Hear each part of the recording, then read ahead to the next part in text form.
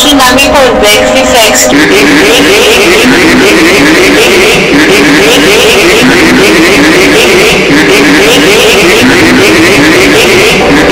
Θέση να μην κοντεύει θέση.